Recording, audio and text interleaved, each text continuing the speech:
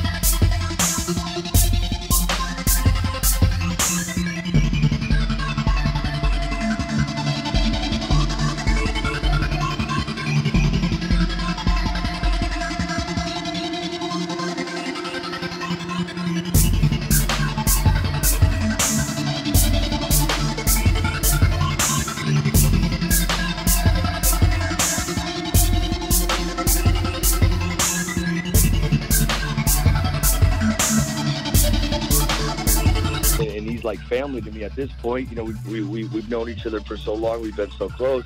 You know, my first, you know, I, I tell I'm encouraging him not to fight. You know, that's obviously my first encouragement.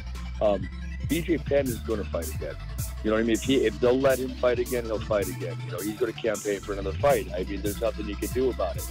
You know, you can say, hey, people say, hey, Parillo, you know, if you're, you know, if you're a really good coach, you would encourage him not to fight, just like you were saying not to fight, and and, and you would tell him, you're right.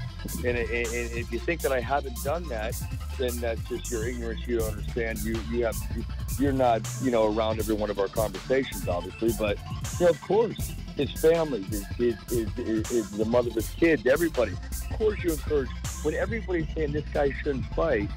You know what I mean? Anymore, of course, eh, you're you're pretty much an asshole telling this guy to fight. Like, uh, what do you want him to die? That type of thought process, right? No matter which way, you know, this guy is gonna. It's like Mike. I, I say all the time. Mike says, you know, I you know, I don't know how many more fights Mike plans on doing, but trust me, it's going to be tough, tough time to get these guys to stop fighting. I mean, look at I got Tito Ortiz fighting this weekend. He's 42 years old. You know, if, if, if he's going to fight again, and like I say, I say don't fight. Say I'm going to fight anyway. You know, I'm going to go train out with Greg Jackson and Winkeljohn, and I would like you to be a part of it as well. Do I say yes or no? I can say no. Fuck yourself. Go fuck yourself because you should listen to me and not fight anymore. Because that's what I want you to do. But guess what? This motherfucker, if he wants to fight again, he's going to go do it.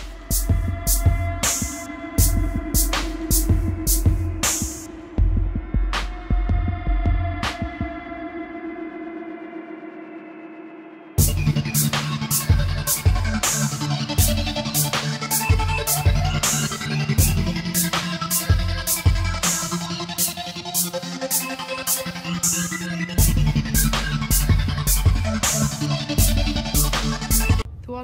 fans, uh, Joanna Jędrzejczyk, the UFC Women's Strawweight Champion, want to know what uh, makes me stay on the top and pound for pound the best woman fighter in the world?